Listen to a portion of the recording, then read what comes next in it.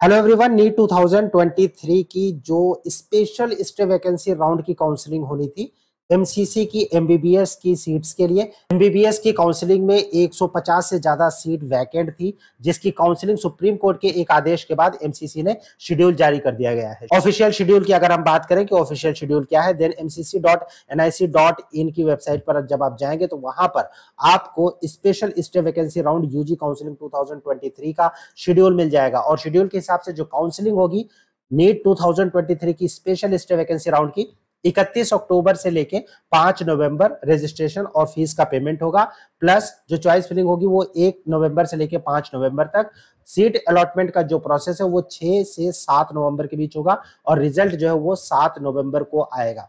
और जो ज्वाइनिंग होगी वो, यानी रिपोर्टिंग और ज्वाइनिंग 8 तारीख से लेके 15 नवंबर के बीच होगी। ये ऑफिशियल शेड्यूल है जो कि जारी किया गया है एमसीसी की ओर से।